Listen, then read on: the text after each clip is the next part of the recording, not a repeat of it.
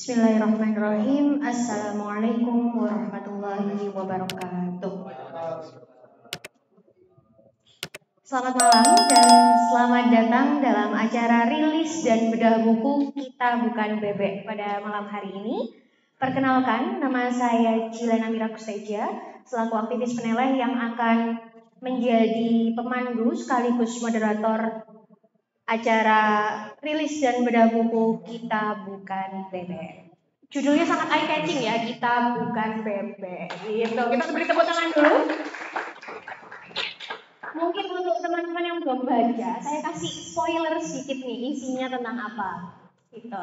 Jadi mungkin nanti juga akan dikupas lebih dalam lagi oleh para pembedah dan para penulis kita, gitu ya. Nanti ada Mas Asep, Mas Sikim, Mas Fadir dan pembedah-pembedah kita. Jadi yang pertama, Mas Asep di sini menulis bagaimana cara memecah uh, stigma bebek ini melalui konsep ikhlas Nanti mungkin akan dijelaskan sedikit sama Mas Asad ya. Kalau mungkin saya juga salah, mungkin bisa dibenarkan juga. Kemudian Mbak Dwi ini berbicara tentang pendidikan. Tuh. Dan yang ketiga ini Mas Fadir berbicara tentang pengajar sebagai penggerak peradaban kalau nggak salah ya. Oh, luar biasa. Dan nanti akan dibahas tentang bagaimana uh, kondisi pengajar dan organisasi, kemudian juga bagaimana solusi dari Mas Fadir terkait uh, hal tersebut yang mengkonstruksi dari tulisan-tulisan Pak Cokro Aminoto. Dan yang terakhir Mas Sikir di sini ber, berbicara tentang tirakat nubuah dalam konsep pendidikan. Wah luar biasa. Kata-katanya sulit sekali, tapi nanti akan dijelaskan lebih mendalam oleh uh, para penulis kita seperti itu. Dan kali ini teman-teman saya tidak akan sendirian berbicara di depan.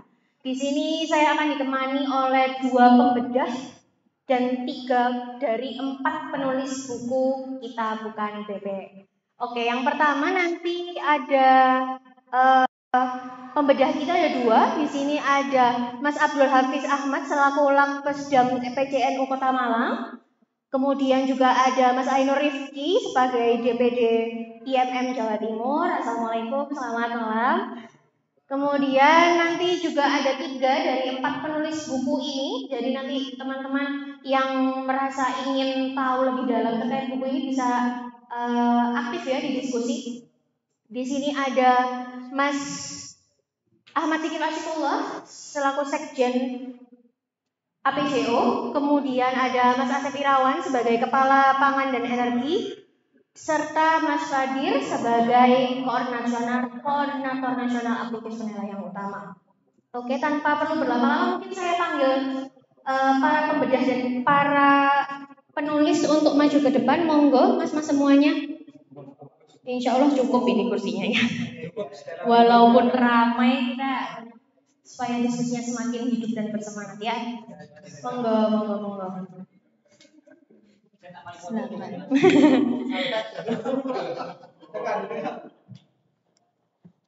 Oke, nah sekarang kalau gini kan saya nggak sendirian di depan tuh ya.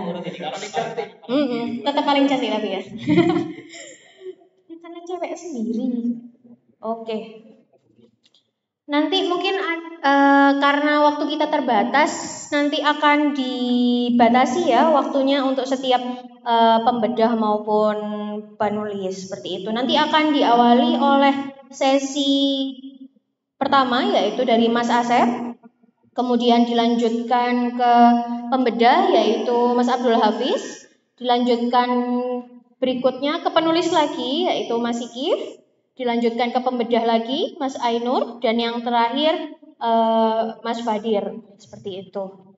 Untuk durasinya kurang lebih 10 sampai 15 menit saya ingatkan nanti kalau misalnya uh, memang melebihi saya mohon izin untuk motong supaya diskusi kita akan uh, bisa berjalan lebih mantap gitu ya mungkin nanti dari teman-teman ada yang ingin tanya gitu. Oke, monggo kepada Mas Asep terlebih dahulu waktu dan tempat dipersilakan. Iya, lebih anu karismatik.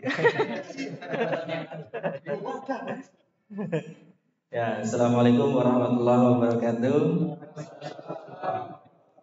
Uh, perkenalkan nama saya Setirawan, saya pengurus aktivis peneleh tahun 2022 sampai 2024 di bagian pangan dan energi. Nah, pada malam hari ini alhamdulillah kita dari empat uh, yang bisa dikatakan jenderal di aktivis peneleh ini telah membukukan tulisannya karyanya. Ini adalah hasil refleksi selama lima hari kurang lebih ya untuk merefleksikan bagaimana perjuangan Pak Cokro secara substantif baik dari buku yang pertamanya Islam dan Nasionalisme sampai yang terakhir tentang program aset dan program tantim. Nah, sebenarnya di buku kita bukan bebek ini memang terbagi menjadi empat. Apa yang dikatakan Bajilan itu betul. Uh, yang tapi fokus kita ini refleksi saja apa refleksi substantif ya dari pemikiran Pak Cokro kemudian uh, kita turunkan sampai dengan masa kini bagaimana secara melihat bahwa masa kini itu tidak terlepas dari sejarah masa lalu buktinya ada beberapa hal yang itu kaitannya erat dengan masa lalu tentang kemerdekaan tentang pendidikan bahkan manusia-manusia pragmatis itu pun lekat hubungannya sampai sekarang. Nah, di sini saya e, ngasih judul ikhlas. Karena waktu itu gimana ya cara buat judul? Bingung. Ya udahlah, buat satu kata aja, ikhlas. Jadi dari situ saya mikir dalam surat Al-Ikhlas saja tidak menyebutkan kata ikhlas itu sendiri bahkan, tapi lebih ke tauhid. Ah, saya di sini membayangkan bagaimana sih tauhid itu berjalan sehingga bisa menimbulkan rasa ikhlas. Coba kita lihat dalam ini surat pertama tentang bahwa menyebutkan Tuhan itu dialah yang Maha Esa. Kemudian masuk ke surat eh, ayat kedua tentang bagaimana kita itu harusnya meminta kepada Allah bukan yang lain, apalagi kepada korporat-korporat gitu ya istilahnya sekarang. Terus Terus yang ketiga itu Tuhan itu tidak beranak apalagi diperanakkan Mana ada kata ikhlas di. Terus yang keempat itu tentang bahwa tidak ada sesuatu makhluk apa pun yang setara dengan Tuhan. Jadi kemudian saya merefleksikan gimana ya caranya. Apakah zaman dulu itu kita kan sebelum masuk Islam itu kan ada banyak ajaran tapi apakah korelasinya sama? Ternyata ketika saya melihat bahwa e, di Hindu kaitannya erat dengan di Jawa itu ada namanya istilah sangkan paraning dumadi atau dalam bahasa Islam apa di e, Al-Qur'annya itu innalillahi wa inna ilaihi rajiun. Bahwa sebenarnya kita itu berasal dari mana sih? Setelah kita tahu terus mau ke mana? Kita tahu kita manusia. Manusia yang seperti apa? Kita detailkan lagi Terus habis itu mau ke mana? Apakah erat kaitannya kita itu menjadi seorang manusia pragmatis atau bagaimana? Itu itu langsung me, apa ya, memuncak ketika masuk kepada ceritanya sahabat Nabi. Ini kan bercerita tentang tarikh agama Islam. Cerita tentang bagaimana saudara sahabat Hamzah dan sahabat Umar bin Khattab ini masuk Islam. Bahwa ketika itu e, ceritanya kan sudah pasti ya ketika waktu itu kan ada e, apa kaderisasi lah istilahnya kalau sekarang di rumah e, Arkom. Di situ ya bagaimana proses itu berjalan dari sembunyi-sembunyi sampai terang-terang terus berlanjut. Akhirnya kan ada titik temu bahwa ya sehe, uh, sekuat apa pun sehebat apa pun uh, sebenarnya kita itu dihalangi oleh ego. Ego berarti takwa bisa kan? Menjauhi segala larangannya dan mengikuti perintahnya. Tapi ingat kadang takwa itu tidak akan bisa menjadi takwa ketika ada ego nah di situ saya uh, saya berpikir oh ya ternyata ada satu hal yang saya harus kurangi ego ketika itu muncullah ikhlas refleksi lagi kemudian kepada sosial Islam dan sosialismenya Pak Cokro terus kepada dari agama Islam sampai akhirnya ke memeriksa alam kebenaran. Ternyata dalam agama samawi atau agama surgawi itu ada dua maksudnya. Ada dua yang dijelaskan. Tuh dunia yang kecil atau dunia alit sama dunia yang besar buana besar. Itu menjelaskan bahwa oh ternyata dunia yang kecil itu apa sih maksudnya? Ketika itu saya mengkasihkan dengan ajarannya Imam Ghazali tentang bagaimana mem memaknai diri ini. Diri ini apakah bisa disebut dengan dunia yang kecil atau bisa disebut dengan dunia yang besar saya berkontemplasi melihat bahwa ternyata kebesaran dunia ini tidaklah seluas diri. Tidak ternyata di dalam diri ini begitu luas untuk mengenali diri. Makanya masuk oh ternyata ada yang namanya eh, satu elemen penting yang itu kita harus eh, jalannya itu harus searah atau se ini ya sesuai dengan fitrah. Karena kita kan diciptakan dunia itu sebagai apa sih? Kan sebagai khalifah loh. tapi bagaimana cara menurunkan atau menjadikan sebuah metode ini menjadi aksi yang nyata? Nah ini yang yang perlu teman-teman kadang kadang ini apa namanya kadang harus tahu bahwa tidak semua orang itu bisa menurunkan pemikirannya ke sebuah aksi. Tapi saya menemukan bahwa di penilai itu bisa. Dan itu sesuatu hal yang pasti bisa. Karena gini ya prinsipnya kalau saya refleksi itu tidak ada sesuatu hal yang tidak akan bisa terjadi kalau itu sudah kelihatan mata. Dalam artian misalkan kita lihat air nih, apa sih yang nggak bisa kita buat sama dengan ini? Apa sih yang kita nggak bisa buat sama dengan kue itu atau ataupun apa sih yang kita tidak bisa buat e, sabun? Jadi pertanyaannya kan tentang bagaimana mengenali diri ini lebih dalam. Kemudian saya menceritakan itu ke gambaran yang lebih luas tentang buana agung atau e, sesuatu yang besar. Makasih. Sesuatu yang besar itu kan alam semesta. Alam semesta itu ada planet, ada bumi, bumi termasuk planet, ada matahari, ada galaksi. Terus saya kan dulu pencinta ini, pencinta benda apa ya? Pencinta alam, suka naik gunung. Di situ ya saya ternyata ketika masuk ke dalam puncaknya gunung bahwa manusia yang kita lihat itu tidak ada. Kita ketika sudah masuk kepada ketinggian lantai 4 atau 5 kan melihat manusia itu kan kecil. Bahwa sebenarnya kita itu siapa sih? Kok kadang mengagung-agungkan sesuatu yang bukan berasal dari Allah Subhanahu wa taala gitu kan ya. Dari situ saya mikir oh ternyata ini holistik nih pergerakan ini ataupun diri ini sebenarnya bukan milik kita pribadi karena memang sudah kita bila diciptakan itu tuh untuk apa sih? Kalau untuk foya-foya untuk diri sendiri ya terus mau apa? Masih akan merasa pada titik jenuh. Dan itu yang yang saya rasakan beberapa tahun lalu gitu di 2001 eh 2021 setelah lulus jadi walaupun di benar ketika ini apa sih maksudnya harus apa lagi sih gitu kan. Ada sesuatu yang menjadi titik balik. Dan itu teman-teman harus bisa e, menangkap titik balik itu sendiri. Dengan apa? Dengan kerendahan hati atau menghilangkan ego itu sendiri. Makanya kemudian masuk ke memeriksa alam kebenaran. Bahwa tidak ada pengajaran yang tidak akan tidak akan masuk kecuali dengan hati yang bersih. Balik lagi kepada surat Al-Ikhlas. Tidak ada kata ikhlas di dalam surat Al-Ikhlas. Itu yang menjadi titik berat saya untuk merefleksikan tulisan ini. Nah, mungkin ini akan masuk ke konsep diri ya teman-teman. Karena apa?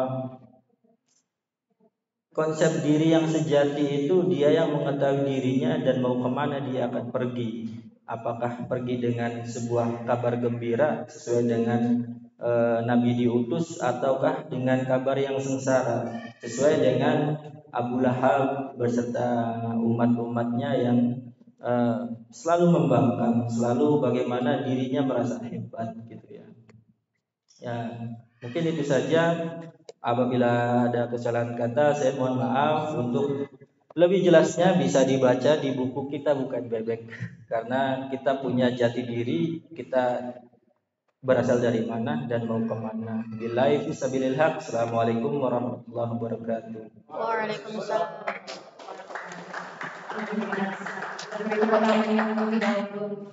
Oke, uh, izin mengingatkan para pembedah dan para penulis setelah ini untuk para pembedah dapat waktu 15 menit nih dan untuk para penulis mendapatkan waktu 10 menit gitu. Oh, enggak apa-apa. Diselang-seling. Diselang-seling aja, gak apa-apa, Mas. Kemudian selanjutnya ini adalah sesi dari Mas Abdul Hafiz selaku pembedah uh, eh, 15 menit ya, waktu dan tempat dipersilakan. Eh, coba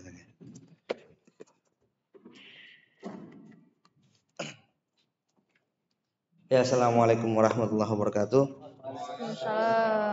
Allahumma sholli ala sayyidina Muhammad wa ala ali sayyidina Muhammad wa asyhadu dhalimin bil dhalimin wa akhrijna min bainihim salimin.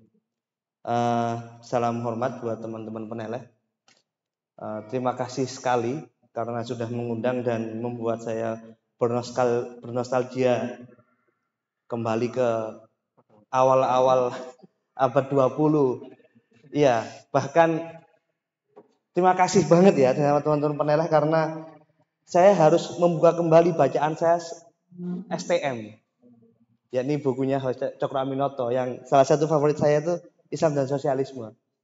Ya, itu itu buku saya STM dulu. Terus nyampe kuliah dan dan berlanjutan sampai sampai ada furuk furuk furuknya yang lain lah ya.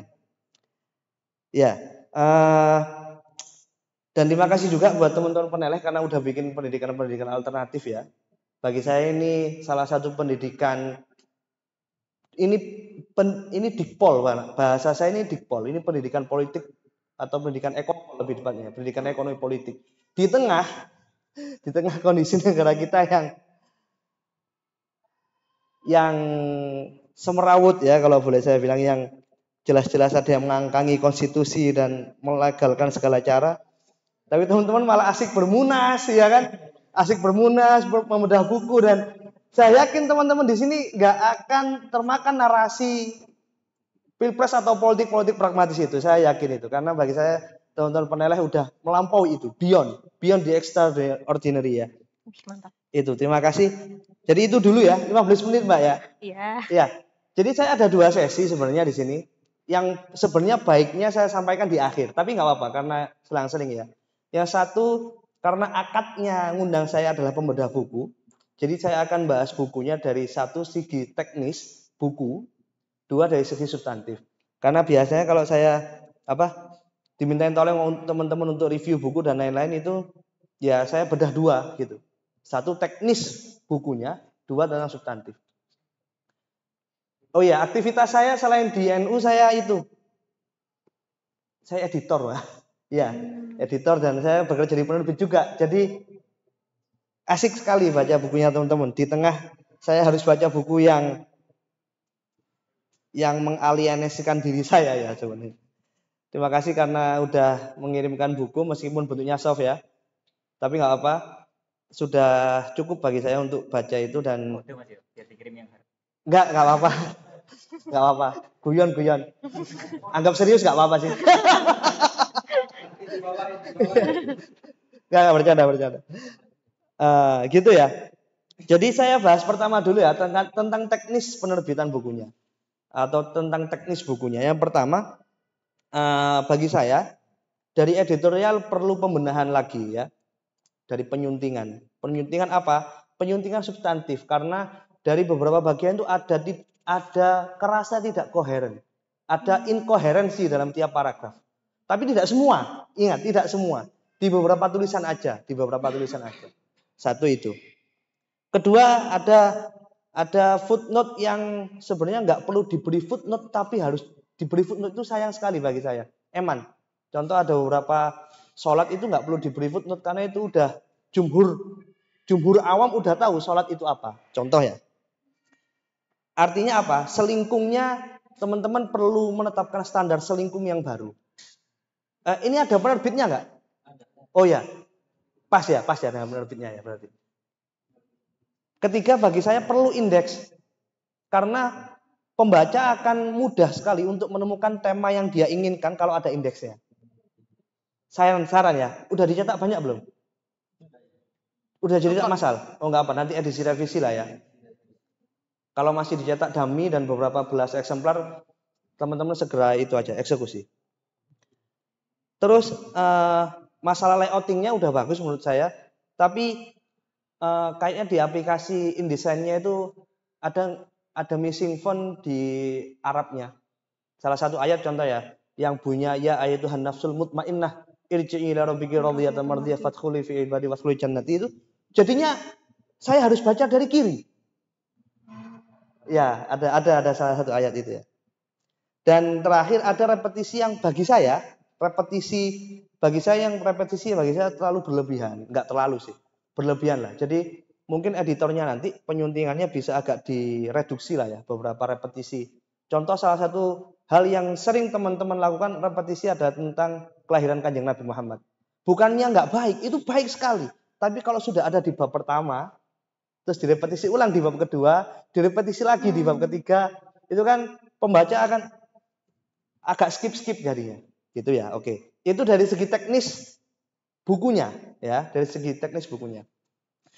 Yang kedua dari segi, dari segi substansinya ya, dari segi substansinya ya. Terima kasih teman-teman karena udah mengajak saya kembali lagi. Saya contoh, saya kalau baca tulisannya Mas Asep, itu saya kayak baca karyanya Cak Nur loh. Islam Doktrin Peradaban. Loh, serius Mas. Karena apa? Di situ menjelaskan tentang gimana kehidupan kita ini layaknya bumi yang uh, layaknya kehidupannya mengikuti poros bumi. Sampai dijelaskan ada angka-angkanya itu juga kan. Nah, ada poros bumi dan lain-lain. Wah, ini saintis baru. Ini saya kayak baca awal-awal kebangkitan Islamisasi pengetahuan ini.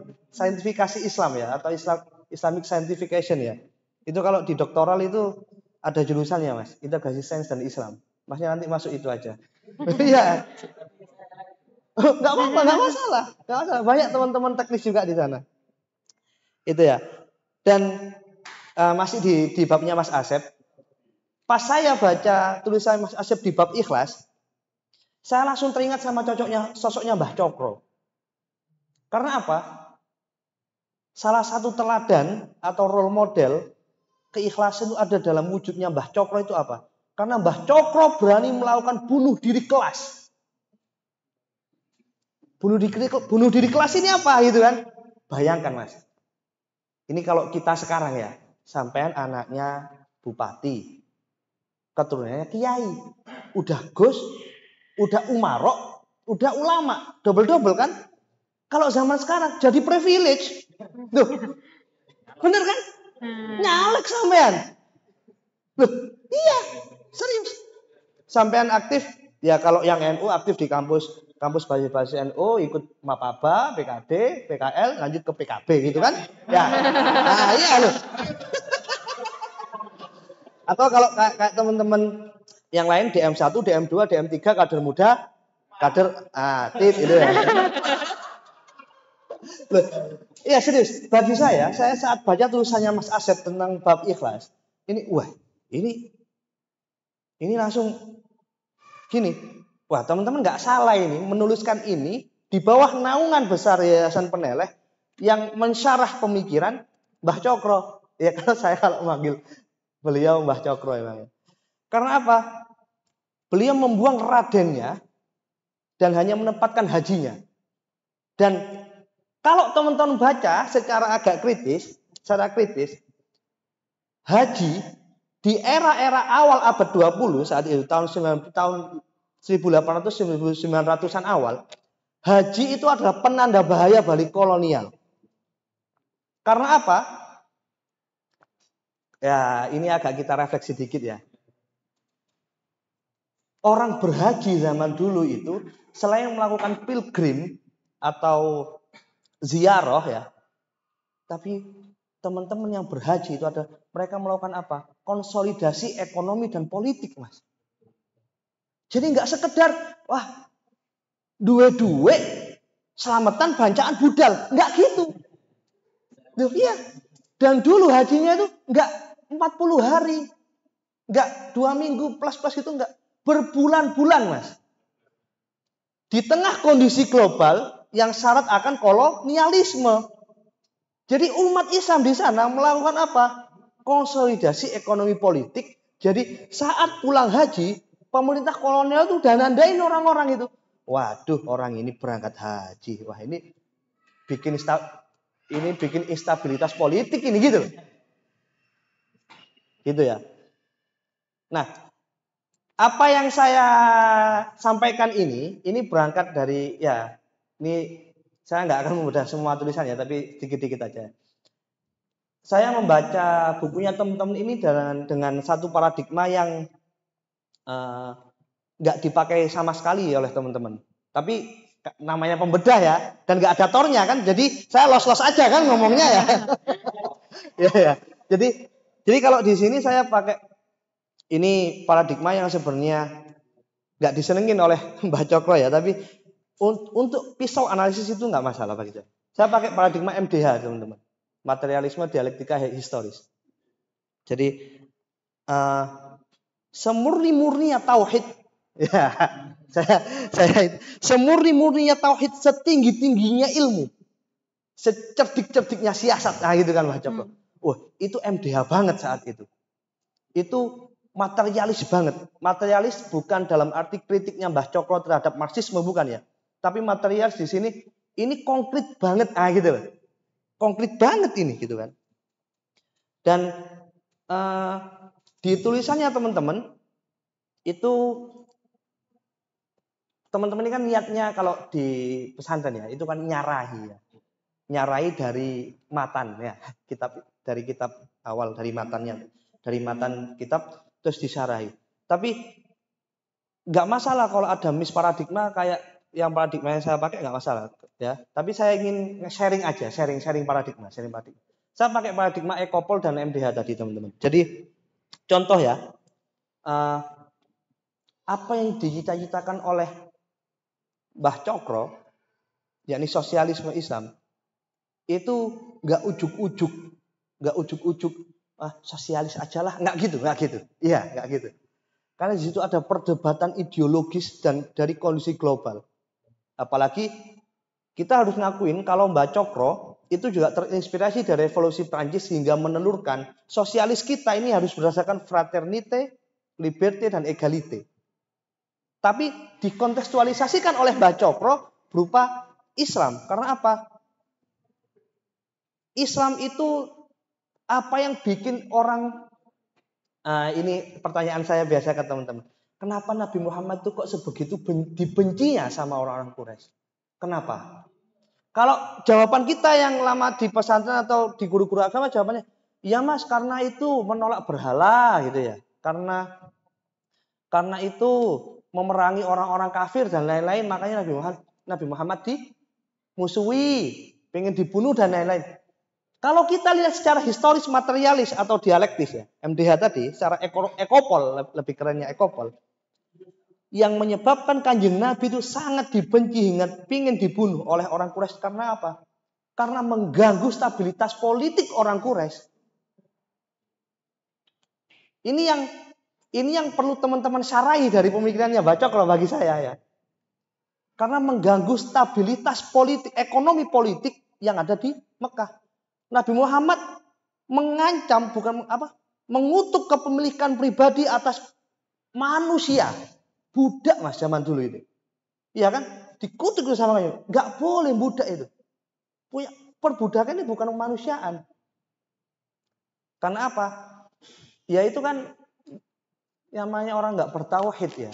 Saat orang nggak bertauhid itu kan nggak ada yang ditakutin gitu kan. Nah, contoh lain ya. Kenapa Nabi Muhammad sangat dibenci dan ingin dibunuh? Karena Nabi Muhammad mengutuk kepemilikan alat-alat produksi yang ada di Mekah. Sumber air dimiliki oleh Bani A.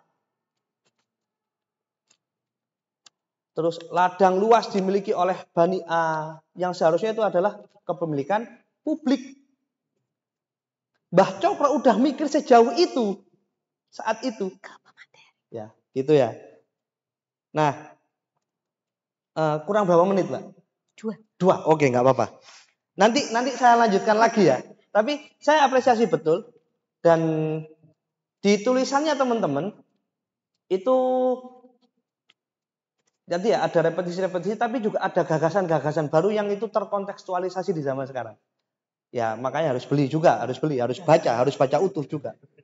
Ya, karena ada ada teman-teman udah bikin pendidikan alternatif yang baiknya kayak gimana, ada pendidikan penembah Gusti gitu-gitu ya. Yang itu terinspirasi dari bukunya Mbah Cokro apa Musim Nasional on the itu kan, MNO itu ya. Itu. Jadi selebihnya nanti di sesi selanjutnya nanti ya. Hmm. Uh, untuk sebagai pembuka itu dulu ya, teman-teman. Terima kasih. Wallahul muwaffiq ila Assalamualaikum warahmatullahi wabarakatuh.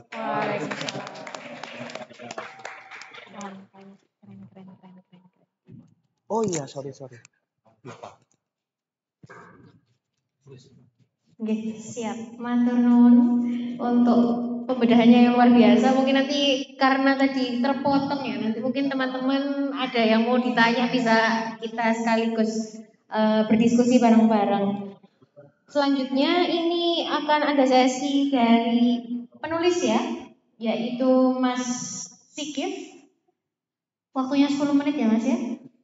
Waktu dan tempat disilahkan, monggo.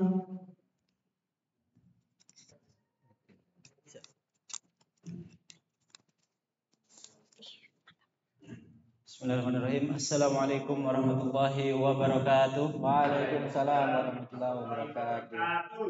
Uh, baik, uh, yang kami hormati di sini ada senior saya ini Ketua Dewan Syura Kris Peneleh yang pertama Iskandar Eka SM Kemudian yang juga kami hormati para pemuda ada uh, Mas Rifki sama Mas Hafid.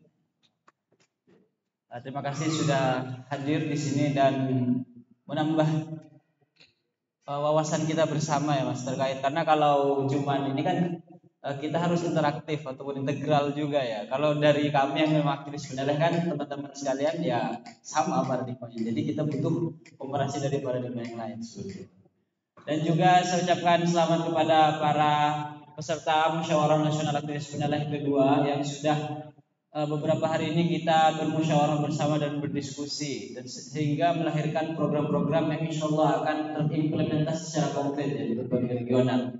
Ingat sebagaimana tujuan kita Indonesia yang self bestor ataupun Indonesia yang benar-benar berdikari di atas tanah sendiri. Oke baik untuk selanjutnya uh, saya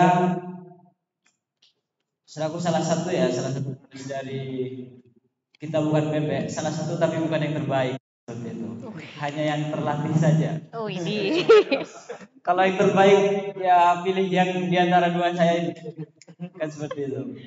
Oke baik uh, pada tulisan kita bukan bebek ini itu uh, sebagaimana yang sudah dibahas sebelumnya tadi Mas Asep sendiri sudah menekankan dengan dengan ikhlas itu seperti itu.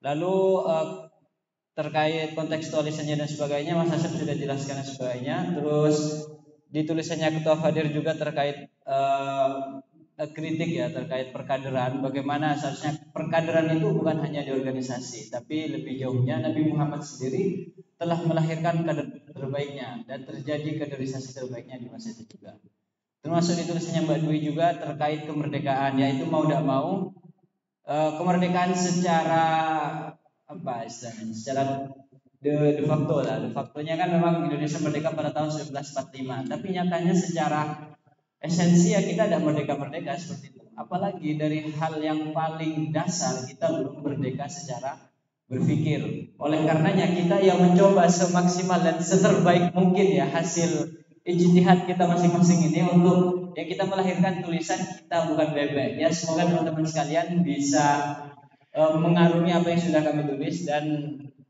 uh, dan paham kayak gitu. Kalau belum paham uh, nanti bisa dipertanyakan ataupun dikritik kayak gitu ke ke kami seperti itu. Ya sebagaimana yang tadi ada kritikan dan juga masukan dari Gus Ahmad, Gus Hamid, Gus Hamid Kita kan sarungan Gus. Sarungan Gus. Kan seperti itu. Nah. Oke, dan untuk kenapa saya menamai judul tirakat nubuah itu ya? Karena memang dari di jenjang kaderisasi itu kan kita membedah berbagai bukunya Haji Umar Said Cokro Aminoto. Termasuk skripsi saya kan eh, tentang salah satu karyanya Mas Cokro Aminoto yang dijegal, ya di Quran Suci. Itu. Alhasil ya saya mengarungi buku-buku yang lain. Karena memang benar kita tidak bisa bertemu dengan beliau langsung tapi kita bisa bertemu dengan karya-karyanya sehingga sosoknya itu tertulis dalam karyanya.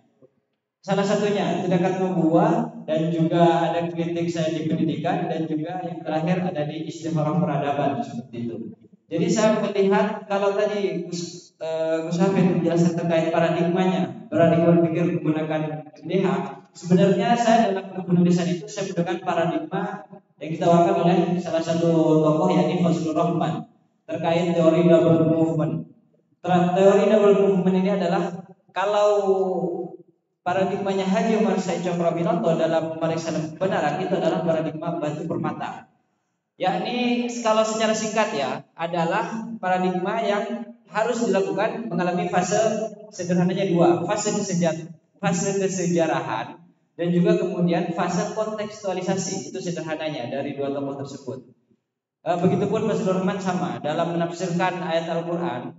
Kalau Pak Cokro itu menafsirkan realitas menggunakan ayat Al-Quran. Itu yang dijelaskan dalam setiap buku-bukunya. Kalau teman-teman baca ya dari tarikh agama Islam sendiri berbeda dengan sirah nabawi yang lain. Di sana ditampilkan ayat-ayat Al-Quran yang relevan.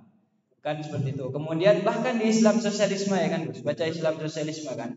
Di bab uh, berapa ya? Itu kan uh, Osyokra Minoto tuh secara tidak langsung itu memberikan gambaran suatu kaderisasi bahwasanya Nabi Muhammad itu mengkader nabi-nabi uh, mengkader para sahabat seperti itu. Maka muncullah ulama rasyidin. Nah, itu yang ya kalau secara secara lebih lanjutnya ada di babnya mutafadir terkait kaderisasi. Tapi kalau secara esensinya ya begitu kurang se kurang sebegitu tinggi apa privilege-nya seorang nabi itu bisa dibaca di uh, tulisannya Mas Asep kayak gitu kan. Seandainya Mas Asep kan nabi, ya kekasihnya kekasihnya Allah ya apa dan sebagainya. Tapi kenapa kok masih bisa terluka? Kenapa masih nyawanya terancam? Dan para sahabatnya itu ya tidak peduli lagi nyawanya itu gak gak usah gak usah dipikirkan tapi nyawanya Nabi Muhammad tetap yang harus diselamatkan itulah itu hasil refleksi dari bagaimana tarikh agama Islam dan sebagainya yang dituliskan oleh kita. Kemudian dia masuk ke Bagaimana kritik tentang pendidikan? Pendidikan itu sendiri ya, ya sebagaimana mestinya ya. Kita ya memang di fasilitas pendidikan yang ada, tapi kita kita punya kritiknya tersendiri terhadap uh, kritik dunia pendidikan yang ada pada hari ini seperti itu. Uh, tapi ya itu yang kita tawarkan bahwasanya tanpa sekolah pun ada ada saya kemarin diskusi sama teman saya, saya itu bilangnya begini, anak saya tidak mungkin saya sekolahkan nantinya Loh kenapa? Ya karena saya sendiri merasakan bahwasanya saya sekolah dulu SMP SMA bahkan saya kuliah mental saya kena dan saya itu yang ingin saya amankan terhadap anak saya. Tapi kamu bisa untuk menjadikan anakmu itu benar-benar pendidikan. Ya bisa, saya yakin. Nah ini salah satunya, itu salah satu realitas, salah satu orang yang percaya bahwasanya tanpa kita harus mengikuti sistem yang sudah ada sekarang, mereka bisa berjalan di atas kaki sendiri. Tapi kan sekarang realitanya berbeda ya. Orang tidak bisa S1 ya dan dapat pekerjaan. Padahal saya sendiri kan dari Madura ya. Padahal di Madura itu banyak yang nggak selesai SD malah pada sebagainya. Kemudian ya ternyata ya uang apa dan sebagainya itu uh, aman gitu. Tapi kan berbeda. Orang-orang yang sekarang materialismenya itu lebih tinggi dan sebagainya. Nah itu itu beberapa insight lah, insight dulu terkait apa yang kami tuliskan dan kemudian lagi-lagi saya tekankan dari apa yang kami tulis itu kita ada lingkup lebih besar yakni peradaban kan seperti itu. Ada yang bilang kalau kamu ingin memikirkan sesuatu think higher think higher level. Jadi jangan pikir kamu dapat kerja apa, pikir kamu mau ngasih kerjaan ke orang lain apa itu. Itu akan menambah value terhadap para orang yang punya pikiran uh, berpikiran maju. Nah itu ada di makanya kita bisa pakai istilah-istilah peradaban dan sebagainya. Oke sekian dulu dari penyampaian saya. Semoga belum paham dan nanti dipertanyakan. Oke. Dan sekian saya kembalikan ke moderator. Terima kasih Mas Ikif atas pemaparannya. Kita lanjutkan ke sesi dari pembedah Mas Ainul. Monggo waktu 15 menit. Waktu dan tempat disilakan. Siap jenderal. ini ini. Bismillahirrahmanirrahim. Assalamualaikum warahmatullahi wabarakatuh. Alhamdulillah, alhamdulillahilladzi ja'alal qalama lil kitabah wal kitabah lil qiraah wal qiraah lil ma'rifah wal ma'rifah lil ibadah wal ibadah lillahi taala. Amma ba'du. Kalau tadi itu dokter bedah, nah saya ini dokter umum. Nah, jadi kalau yang tadi itu bedah sampai dalam-dalamnya saya dokter umum. Nah, saya coba sekiranya karena kemarin saya coba setelah karena saya ceritanya ini dipaksa sama Mas Fadir buat baca buku. Saya terakhir baca buku yang berat-berat itu pas kuliah. Buku terakhir yang saya habiskan itu Atomic Habits. Buku-buku ini, buku-buku ringan motivasi begitu kan? Self development. Iya, self development. Bulan ini saya gara-gara menyarankan ke teman saya untuk membaca buku karena dia tidak suka baca buku, apa ya buku yang pas? Kayaknya bukunya Henry Manampiring ini tulisannya enak buat dibaca. Filosofi teras akhirnya dibaca. Karena dibaca, ada yang nggak paham, saya terpaksa ikut baca buat membantu menjelaskan. Datanglah undang Mas Fadir sekitar 10 hari yang lalu. Mbak ini yang bedah buku. Aduh, dipaksa baca dipaksa baca buku ini berarti. Maka yang pertama apresiasi setinggi-tingginya buat teman-teman aktivis Peneleh karena menghadirkan oase di tengah kekeringan budaya intelektual di kalangan pemuda. Karena kita sudah jarang yang mau ikut membaca, jarang yang mau ikut nulis, juga ikut berdiskusi seperti ini. Karena dihadapkan pada algoritma TikTok yang belum 15 detik wis diganti. Instagram story belum 10 detik wis diganti. Maka ngadepin buku kayak begini tentu mereka abot. Nah, maka ini oase di tengah kekeringan. Jadi apresiasi setinggi-tingginya selain sudah menulis buku juga menghidupkan tadi itu budaya intelektual. Nah, karena ini pembeda ya, saya sempat nanya ke Mas Fadir, "Din bebek di sini ini apa?" Karena saya ini bebeknya Muhammad. Lah saya ikatan mahasiswa Muhammadiyah. Kalau dari Mas Hafid dari perwakilan NU, saya Muhammadiyah, ortom Muhammadiyah. Muhammad dia itu dua kata, Muhammad dan Iya. Iya itu bebek, Iya itu ikut. Jadi saya ini pengikut Nabi Muhammad. Apakah ini termasuk bebek? Nah itu kan pertanyaan awal ketika melihat judul buku ini. Kita bukan bebek. Nah ternyata di bahasa Arab ikut itu ada itiba, itu artinya juga ikut. Juga ada yang namanya taklid, itu juga artinya ikut. Nah, akhirnya oh kayaknya ini yang taklid-taklid ini. Nah, kalau itiba itu berarti bukan termasuk bebek di dalam buku ini. Karena taklid dan itiba itu berbeda. Taklid itu berarti asal muasal katanya dari kiladah. Kiladah itu kalung. Kalung itu digantungkan. Jadi dia itu kehidupannya akhirnya bergantung. Jadi mengikat. Dan kalung itu tidak pas. Dipakai sama orang barat, sama dipakai orang timur, dipakai sama orang Jawa, beda-beda kalungnya. Maka kadang-kadang nggak pas. Nah, maka taklid itu tidak dibenarkan. Nah, jadi oh saya ini itibak lah bukan taklid. Jadi tidak termasuk yang yang bebek di dalam buku ini. Nah, semoga saja seperti itu. Nah, itu yang pertama. Karena perbedaannya taklid itu tanpa ilmu, sedangkan itibak itu dengan ilmu. Karena tidak selamanya mengikuti itu buruk. Karena ini membedakan ya perspektif lain ya. Karena syarat diterima ibadah itu dua. Pertama ikhlas tulisannya Mas Asep dan yang kedua itu itiba. Jadi mengikuti ada tuntunannya. Nah, tapi bebek yang dimaksud di sini yang kalau kata Mas Iskandar itu dedahan jenderal terbaik di dalam kata pengantarnya. Berarti jenderal-jenderal ya, ada Dewan Suro, ada jenderal, kawan lapo-lapo ini guys. Ada Dewan Suro, ada jenderal. Kita se kita sekelas presiden Mas. Nah, saya baca, oh apa sih definisi bebek di dalam buku ini menurut para penulis maupun ada Ketua Dewan Suro memberikan pengantar, termasuk Pak Adi Dedi Mulawan juga menulis di dalam bukunya. Ada yang mendefinisikan bebek itu tunduk patuh ngekor pada sang gembala. Karena dimaksudkan sama Mas Indar, Mas Iskandar itu pemuda sekarang ini kayak permen karet. lembek, nempel ke mana-mana. Nah, itu permen karet. Jadi ngikut pragmatis dan oportunis. Kalau Mas Hendra Jaya nulis itu ada bebek itu ngikut barat. Bebek barat. Jangan-jangan di barat sana ada bebek timur. bebek sinjai. Nyaman ya. Nah, masing-masing penulis juga mendefinisikan masing-masing dengan ceritanya tentang bebek. Nah, itu pertama. Nah, selanjutnya, kalau tadi Mas Hafiz juga membuka dengan review, Dokter Bedah membuka dengan review teknisnya, nah sedikit tentang teknisnya, mungkin terkait kepenulisan, buku kita bukan bebek ini, sasarannya kan generasi Z sama generasi Alpha. Dan sasaran utamanya kan justru yang bebek, begitu kan? Betul. Nah, tapi kalau ini dibaca sama bebek, kayaknya nggak kuat. Yang baca ini kemungkinan besar ya yang bukan bebek. Yang baca kita bukan bebek. Bisa jadi malah penggembalanya yang baca. Nah, jadi mungkin itu terkait gaya kepenulisannya. Karena bisa jadi sasarannya itu ke bebek, tapi yang baca justru malah penggembala. Nah, itu mungkin berkaitan dengan review teknisnya. Nah, mulai dari Mas Asep yang menulis tentang ikhlas. Ikhlas. Nah, karena tadi saya awal dengan kata-kata itiba, di surat Yasin ayat 21 itu juga ada kata-kata itiba. Itib, ittabi'u malayas alukum ajro wahum muhtadun. Ikutilah mereka yang tidak men mengharapkan ganjaran. Kan berarti ikhlas. Karena ikhlas itu susah. Kayak disampaikan tadi sama Mas Asep, di surat Al-Ikhlas itu nggak ada kata-kata Ikhlas. ikhlas. Karena ikhlas ini yang susah juga dicari sekarang.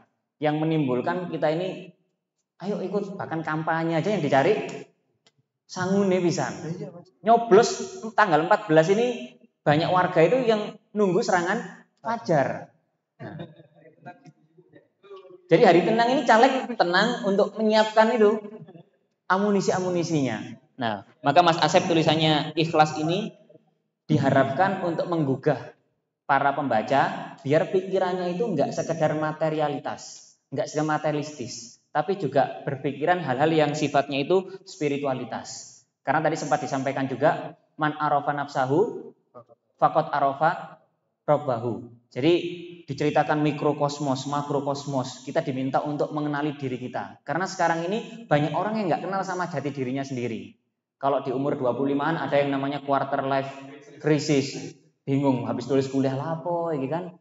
Terus ini gimana dan lain sebagainya. Quarter life crisis. Karena kita kadang-kadang nggak kenal sama diri kita sendiri. Saya ini siapa? Saya ini sebenarnya diciptakan oleh Tuhan untuk apa? Nah, kemudian setelah mengenal dirinya sendiri, juga diminta untuk mengenal yang makrokosmos, ciptaan-ciptaan Tuhan yang ada di sekitar kita. Oh, ternyata ada planet, ada laut, ternyata di Quran juga dijelaskan kata-kata air dan kata-kata darat kalau dibandingkan itu ternyata juga sepertiga dan lain sebagainya. Jadi kita diminta untuk memikirkan itu semuanya, biar tahu hakikat kehidupan kita di dunia ini sebenarnya untuk apa. Nah, di awal dibuka dengan Mas Asep tulisan ikhlas tadi itu untuk menggugah biar kita itu tidak mikir hanya sekedar materialistis tapi juga berpikir hal-hal yang sifatnya itu spiritualitas. Nah Mas Asep juga kalau memisalkan bebek itu di kata awalnya itu bebek itu suka kandang kecil. Gitu Mas Asep ya? Nah kita kan kita bebek atau bukan? Harapannya bukan. Bukan lah ya. Kita semoga saja termasuk orang yang bukan bebek. Bebek. Maka jangan suka dengan hal-hal yang sifatnya kandang kecil. Maka pikirannya itu harus luas. Cita-citanya itu harus tinggi. Kita harus mampu melewati kandang kecil-kandang kecil yang ada di sekitar diri kita. Zona nyaman, zona nyaman yang ada di sekitar diri kita. Sekitar tanggal 6 kemarin di Kompas itu ada tulisan yang bagus, runtuhnya manusia publik. Nah, buku ini juga mencoba untuk menghadirkan manusia publik. Maksudnya apa? Jadi sekarang ini kalau dulu itu 2014 muncul di majalah-majalah Jokowi ini sebagai simbol the rise of public man kebangkitan manusia publik. Manusia publik itu berarti dia itu nggak hanya mikir dirinya sendiri tapi juga mikirin orang lain mikirin masyarakat mikirin sosial dan lain sebagainya. Tapi di hari ini justru malah dilakukan dengan orang yang sama justru malah artikelnya itu the fall of public man jadi runtuhnya manusia publik. Bahkan malah yang dikhawatirkan, yang runtuh bukan hanya manusia publiknya, tapi kehidupan publiknya. Karena yang nggak peduli sama sosial bukan hanya elitnya saja sekarang. Bahkan warga itu kalau disuruh mikirin bangsa negara, kayak apa mas mikirin bangsa negara? Wis tak golek duit gawe anakku, bojoku. Karena itu tadi, runtuhnya manusia publik berakhir dengan runtuhnya kehidupan publik. Semuanya mikir individunya masing-masing. Nah, di ikhlas ini seperti apa? Dilanjutkan sama tulisannya Mbak Dwi Feb, yaitu tentang pendidikan menembah gusti. Memisalkan BP itu katanya kecil. BP itu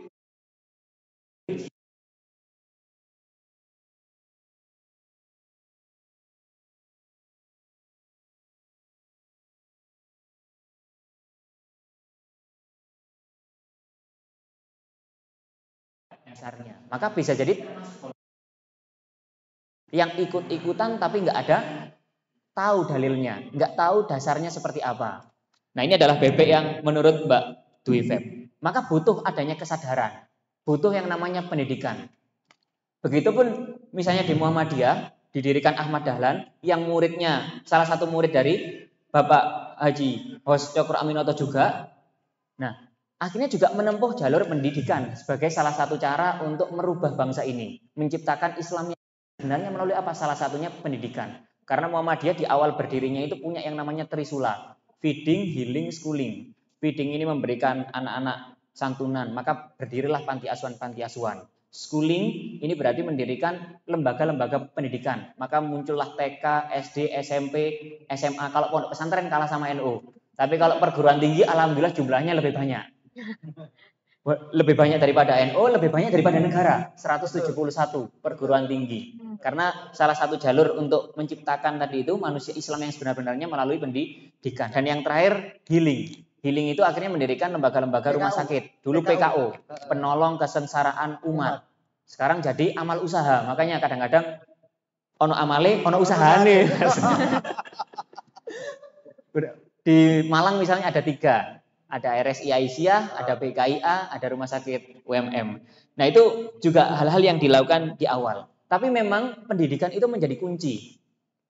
Maka pemilu misalnya lima tahunan ini yang penting itu bukan pemilunya, tapi justru malah membangkitkan manusia publiknya tadi itu. Gimana caranya orang itu peduli. Makanya muncul jam 11 tadi itu video di YouTube yang insya Allah viral hari ini, Dirty Food. Nah, itu untuk menghadirkan manusia publik. Biar orang itu nggak sekedar bebek toh. Milih satu karena bebek, milih dua karena bebek, milih tiga karena bebek. Tapi karena memang dia itu hadir tahu untuk kesejahteraan yang ada di sekitarnya. Jadi manusia itu dia nggak peduli sama, bukan nggak peduli, dia peduli dengan dirinya, tapi juga peduli dengan apa yang ada di sekitarnya. Itu pendidikan. Ada Mbak Dwi Feb itu menulis ideal life cycle. Jadi diminta kita itu yang bukan bebek ini diminta untuk belajar. Habis belajar, itu nanti kita muncul yang namanya keahlian atau potensi. Baru setelah itu kita praksiskan melalui sebuah aksi, ada hasilnya memberikan manfaat. Karena kan khairun nas anfa'uhum linnas. Belajar lagi. Karena belajar itu sepanjang hayat. Nah itu di tulisan yang kedua yang dituliskan oleh Mbak Dwi Feb.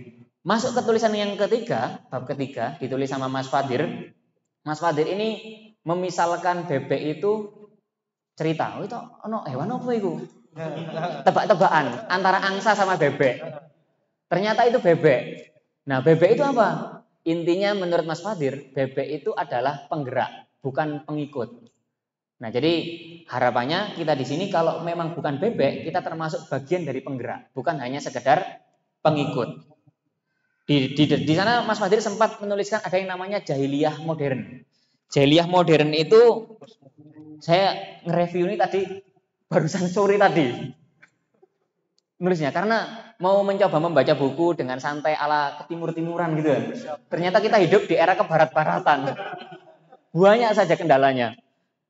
Jahiliyah modern itu ada hedon, disebutkan ada egois, liberal, material, pedulinya sama uang toh dan individual. Nah, ini kita dihadapkan pada kehidupan yang ada tantangannya yaitu jahiliyah modern. Maka butuh yang namanya penggerak-penggerak. Terutama apa? Untuk tadi itu pendidikan Yang kata kedua kuncinya menurut saya di tulisan bab ketiga ini adalah kaderisasi. Kaderisasi itu penting. Karena kalau pendidikan tidak memunculkan kaderisasi, nggak memunculkan kader-kader lagi, juga nanti akhirnya nanti habis yang mendidik. Nah maka kaderisasi ini penting. Pertanyaan sempat dicetuskan oleh Mas Fadir. Apakah kaderisasi itu ribet? Ribet ah? Eh deh, ribet atau enggak? Lumayan. Oh, lanjutkan.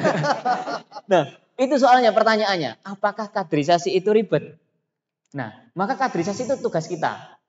Dan bagaimana biar kaderisasi ini berjalan? Maka kata kuncinya menurut saya adalah role model. Kita perlu yang namanya keteladanan. Nah, masalahnya runtuhnya manusia publik tadi itu ada hubungannya. Kita sekarang ini krisis keteladanan. Siapa yang mau kita contoh sekarang? Enggak ada orang kayak Bung Karno, enggak ada orang kayak Bung Hatta, apalagi Bung Hatta pasca lengser dari wakil presiden habis cekcok bayar listrik itu loh sampai nunggak wakil presiden ngontrak ngontrak rumahnya padahal mantan wakil presiden. presiden kita sekarang ini krisis keteladanan nah maka kita mari menciptakan keteladanan di sekitar kita biar penggerak kaderisasi ini jalan oh saya mau kayak Mas Asep saya saya mau kayak Mas Fadir saya kayak saya mau kayak Mas Sikif misalnya maka akhirnya ada proses role model tadi itu Nah terakhir, karena sudah diingatkan dengan kertas kecil tadi itu, tulisannya Gus Ikif berarti yang pakai sarung sepakat dipanggil Gus ya? Gus Ikif. Gus Ikif ini tirakat nubuah. Gus Ikif aja. Kalau saya biasanya di MM itu ada istilah kader profetik. Kader profetik. Nah, jadi memang jalan kenabian. Kalau saya dulu pernah mondok itu dijelaskan Pak Hamid Famizar kasih itu ada worldview Islam, ada worldview Barat. Kalau worldview Barat itu ilmu pengetahuan itu kosong terus mereka isi. Sedangkan di Islam ilmu pengetahuan itu sudah ada isinya bahkan sampai di luar kotak. Tinggal kita menggalinya. Nah, di tulisannya Gus Sikif memulai dengan role model tadi itu Nabi Muhammad. Di surat Al-Ahzab ayat 21 kan juga dijelaskan bahwasanya teladan terbaik, suri teladan terbaik adalah Nabi Muhammad. Karena salah seorang Michael Hurt ya yang ditulis ya di situ ya. Michael Hurt itu orang non muslim, nuliskan orang paling berpengaruh di dunia 100 orang. Ternyata nomor satunya itu Nabi Muhammad. Karena pengikutnya banyak. Pengikutnya selalu bertambah. Nah maka Nabi Muhammad ini menjadi role model tadi itu. Nah kita kalau mau apa-apa karena dijelaskan di buku kan mulai ada yang jelaskan di bab 1 sampai kata Gus Hafid tadi itu direpetisi. Karena mungkin pentingnya role model Nabi Muhammad. Makanya direpetisi tentang sejarahnya kelahiran Nabi Muhammad dan lain sebagainya. Nah, saya ingin menyinggung sedikit saja terkait Gusikif karena di sana dicantumkan ada huruf nun dan huruf ho. Nah, huruf nun ini tentang apa yang mulai dari tauhid, lokalitas, bahasa dan modernitas. Tapi yang ho ini yang yang yang agak seru. Titiknya itu tauhid, garis lurusnya ini stabil, menurun kemudian bangkit gitu ya. Jadi ini teori sendiri atau hasil ini ya perenungan sendiri ya? Gus Gus temenan berarti istihad sendiri. Nah, sampai mengeluarkan fatwa. Mungkin itu sedikit uh, dari saya selaku dokter umum. Karena saya tutup dengan hadis Nabi Muhammad kullukum ro'in wa kullukum mas'ulun an ro'yatihi. Karena kita itu memang diciptakan bukan hanya sekedar pengikut. Kita ini pemimpin. Dan setiap orang akan dimintai pertanggungjawaban atas yang ia pimpin. Terakhir, kita bukan bebek ini diharapkan kita ucapkan dengan segala kerendahan hati. Dengan penuh perasaan yang sadar bahwasanya kita memang bukan bebek. Jangan sampai dengan perasaan sombong dan angkuh, akhirnya kita menganggap di atas bebek. Padahal bebek ini juga sama-sama ciptaan Tuhan. Karena iblis itu bukan karena nggak patuh diusir sama Tuhan itu, karena sombong. Nah maka kita nggak mau menyifati yang jelek-jelek dari PP ini. Terima kasih. Kita, saya akhiri. Bila fisabilillah fasabiqul khairat. Wassalamualaikum warahmatullahi wabarakatuh. Terima kasih Mas Ainur atas pembedahannya yang luar biasa dari dokter umum ini. Ada dokter gigi Oke, kita lanjutkan yang terakhir dari penulis Mas Fadir, diingatkan lagi ya Mas, waktunya 10 menit. Kalau enggak nanti ada kertas kecil melayang lagi ya. Pakai PPT biasanya. Iya, preambulnya dulu itu. Oke. Waktu dan tempat disilahkan.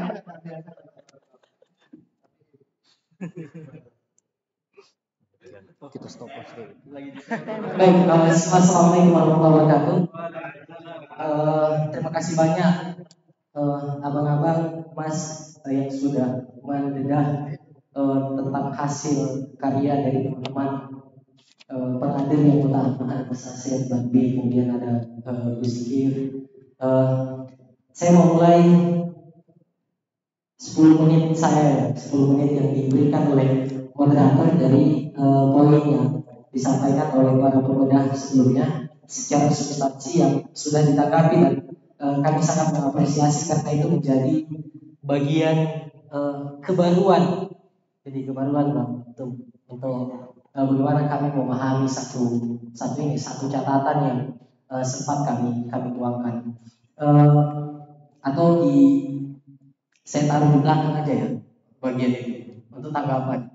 Uh, jadi uh, tulisan ini sebetulnya uh, khusus tema yang uh, penulis cek. Coba uh, penulis angkat itu dia berangkat dari hasil uh, dedahan uh, tiga di antara karya Pak Hosjo Praminoto yang banyak kalau kita coba runtut dari Islam nasionalisme, kemudian Muslim nasional Darwis, Islam sosialisme yang disampaikan Bang Abi tadi, kemudian tarik agama Islam, warisailam kebenaran, uh, naik ke program asas dan program tanim sampai wasiat pedoman umat Islam. Itu adalah ada satu yang uh, baru kami coba temukan secara kolektif. Nah, uh, ini spesifik menyoroti tiga uh, hal mendasar. Pertama, memang di aspek uh, kesejarahannya itu sendiri. Jadi inspirasinya dari aspek kesejarahan, kemudian masuk ke uh, ke lingkup substansi yang menjadi bangunan membentuk watak dan karakteristik masyarakat Indonesia yaitu jalur atau ruang-ruang pendidikan itu sendiri uh, yang dialami oleh anak bangsa khususnya di abad uh, 20 uh, yang kami coba baca. Kemudian sampai ke hal yang sifatnya substansi di karya Meriksa Elam Kebenaran. Nah, uh, penulis coba saya coba berangkat dari uh, pengantar itu uh, menggambarkan uh, bagaimana konstruksi pikiran yang uh, ini hasil dedahan memeriksa yang kebenaran sebetulnya. Yang Hosyo Praminoto atau Pak Cukro coba meliputi tiga bagian besar. Beliau memotret satu satu konteks uh, realitas itu, memahami bagaimana kita uh, bisa meliputi ruang dan waktu. Jadi ruang dan waktunya itu bisa dilihat baik masa lampau, masa kini dan masa depan. Dan bagaimana realitas di waktu ke waktu sampai dengan e, bagaimana kita mampu punya satu konstruksi atas pembacaan dua hal mendasar tadi tentu tidak melepaskan e, basis nilai itu sendiri karena dalam konteks keindonesiaan dan konteks e, Nusantara teman-teman sekalian kita tidak menggunakan basis e, free value atau bebas nilai tapi value laden e, itu yang kemudian menjadi kerangka untuk memotret bagaimana apa yang menjadi hasil syarah kami Kemudian kami kontekstualisasi dengan satu tema-tema uh, tertentu. Nah, fenomena yang coba saya soroti itu tentang kondisi manusia modern uh, dari konteks abad 20 sampai dengan abad 21. Beberapa kritik pemikir memang uh, disampaikan di sana ya uh, tentang kekhawatiran menghadapi uh, konsekuensi logis dari uh, abad modern itu sendiri. Seus Nasser menyampaikan itu, kemudian uh, kalau dalam konteks kesejarahan yang kita sedang bagi saya yang sedang kita alami saat ini yang disampaikan oleh uh, seorang cendekiawan uh, dari dari Swedia, Juri Luna, yang dia sampaikan ya sebenarnya studinya kan tentang konteks Asia Tenggara, di antaranya ada Indonesia. Kita kehilangan uh, menghancurkan bangsa secara singkat banyak orang kutip tapi lupa merujuk bahwa siapa sih penulisnya sebetulnya. Uh, dia putus akan kesejarahan bangsanya. Kemudian soal peninggalan-peninggalannya pun ini bahkan dikoneksi koneksitas dengan uh, para leluhur dia atau para pendahulu-pendahulu dia itu sengaja diputuskan muncullah konsep-konsep uh, yang membuat itu seolah-olah menjadi satu mitos. Nah ini yang kemudian uh, yang membuat anak bangsa sejak abad 20 sebenarnya sejak sebelum-sebelumnya yang punya dampak hingga saat ini seperti yang disampaikan uh, Bang Hafid dan Tuh Rifki tadi. Nah uh, kondisi itu yang kemudian kalau yang sudah disampaikan Tuh Rifki tadi saya menulis saya mengutip yang disampaikan uh, Hojo Praminoto tentang kondisi zaman abad 20 itu karena kita hidup di abad di abad 21 tentang jahiliyah modern. Nah, konteks jahiliyah modern ini sebetulnya kalau coba kita telaah dia disebabkan kejahilian itu dan konteks kolonialisasi itu yang di, disampaikan kondisi Pak Cokro ditarik agama Islam, kemudian dipotret lagi di di konteks uh, keindonesiaan di Muslim National Underwis dalam konteks pendidikannya itu yang membentuk watak dan karakteristik kita. Dia punya dampak pada tiga hal, baik dari value itu sendiri atau dari nilai itu sendiri, konsep pengetahuan bahkan ilmu sampai dengan paradigma yang kita gunakan. Itu yang nyambung nanti ke uh, yang punyanya uh, Bang Hafid ya soal uh, coba membangun satu keterpandingan dari analisis uh, MDH itu sendiri. Ah, nah ini kemudian dari tiga hal mendasar yang kemudian jadi catatan, catatan besar uh, yang dikritik oleh Pak Cokro, sebenarnya beliau tidak hanya mengkritik realitas fisik soal kondisi kolonial, uh, tentang uh, jajahan secara ekonomi dan politik uh, dalam dalam ini oleh oleh Hindia Belanda ya. Apalagi waktu model tanam paksa itu dia karena kekosongan kas, kemudian punya punya upeti yang coba ditingkatkan sedemikian rupa. Nah, sebetulnya hal mendasar yang coba untuk uh, saya soroti di situ ruang-ruang penyadaran yang menjadi pengalaman empirik secara langsung juga saat terlibat di dunia kaderisasi bukan hanya di sistem universitas yang kita sudah ketahui uh, sudah liberal sejak adanya ratifikasi uh, beberapa runtutan di antaranya ratifikasi internasional tahun 1989 tapi dia masuk di ruang-ruang pendidikan yang kita sebut pendidikan alternatif. Dalam hal ini itu organisasi-organisasi kemahasiswaan yang kita harapkan dia menjadi satu lumbung yang sebetulnya penyelamat untuk mencerdaskan membawa visi Indonesia sendiri itu mencerdaskan kehidupan bangsa. Tapi desain kurikulumnya secara terselubung itu dari pengetahuannya yang kami coba soroti teman-teman sekalian bahwa ada proses infiltrasi yang eh, betul-betul uh, terjadi di dalam. Di antaranya ya soal penyadaran ini tidak salah kalau uh, saya nyambung yang punya Bang, Bang Api tadi itu sebenarnya uh, tindak lanjut dari kritik MDH-nya uh, host Carmino waktu itu bang itu di karyanya yang 1928 di Percaya dalam Kebenaran. Sebenarnya kritik substantif yang disampaikan oleh Pak Cokro di situ itu soal bagaimana kita kritik beliau, kritik substansi beliau di uh, materialismenya Marx itu sebetulnya itu di bagian uh, ini ya sistem kehidupan yang kami coba tangkap. Sistem kehidupan yang sebetulnya Islam sejak lama punya sistem kehidupan yang secara garis perjuangan dan keberpihakan dia sudah ada juga. Nah itu sebenarnya uh, bagian dan sebetulnya ini beririsan dengan uh, cara berpikir atau paradigmanya uh, Comte. Jadi lingkaran tentang materialisme itu uh, tentang aspek kebendaan, kemudian ada bentuk negasi satu sama lain itu yang coba dikritik secara substantif uh, oleh oleh Pak Cokro. Nah saya balik ke tadi teman-teman sekalian. Setiap organisasi tidak mungkin tidak dia punya satu konsep besar atau grand design tentang tentang kaderisasi. Karena itu proses membentuk itu sendiri anak-anak bangsa. Tapi sekali lagi kita headline itu yang dianggap menjadi uh, headline pendidikan alternatif. Tapi dia di, di secara desain kurikulum muatan kurikulumnya tanpa sadar kita itu di, di itu mungkin maksud dibalik uh, secara substansi maksud jangan jangan bebe ya uh, dibalik kita dijajah secara uh, pengetahuan Nah itu yang menjadi kekhawatiran akan penulis sehingga harapannya kenapa perlunya kita mengkaji atau mencara uh, itu fenomenanya khusus dalam konteks kaderisasi. Kenapa kita perlu mengkaji dan mencara pemikiran-pemikiran para tokoh bangsa yang betul-betul kalau kita biasa nyebut pemikir tokoh bangsa ini dia yang punya kejati dirian uh, tentang Indonesia dan Nusantara itu sendiri. Dia membangun fenomena itu dari pengetahuan lokal wisdom untuk memotret satu realitas agar kita tidak punya uh, satu jebakan di situ. Sehingga menata semua itu sekali uh, teman-teman kami coba melihat bahwa benahi ruang-ruang kaderisasi khususnya di aspek bagaimana proses penyadaran dia dari dari kejati dirian dia sampai dengan ke cara berpikir dia. Yang disampaikan oleh uh, tugrif kita dia agar kita tidak kehilangan pemuda-pemuda atau manusia-manusia publik khususnya yang mampu menjawab tantangan kebangsaan yang tidak bisa di uh, tawar-tawar seperti itu.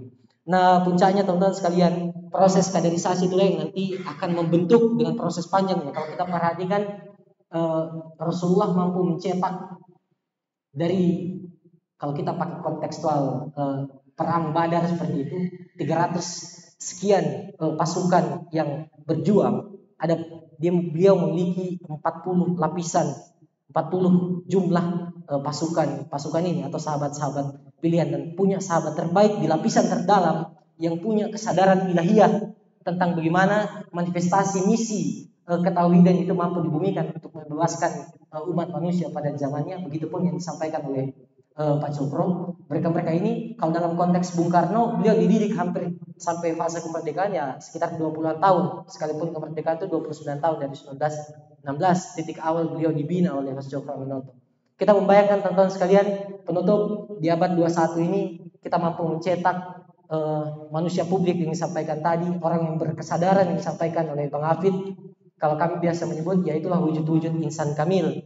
Istilahnya Syekh itu adalah pontifical man dan uh, dalam istilahnya istilahnya uh, Hosjo Praminoto dalam meriksa ilmu kebenaran mereka lah perwira juli atau pahlawan besar seperti itu. Mungkin itu uh, singkat dari kami. Terima kasih uh, kami kembalikan ke moderator. Luar biasa. Terima kasih Mas atas penyampaiannya dan terima kasih pada seluruh pembedah dan penulis yang sudah memberikan pemaparannya dan hasil pembedahannya baik itu secara teknis maupun substantif.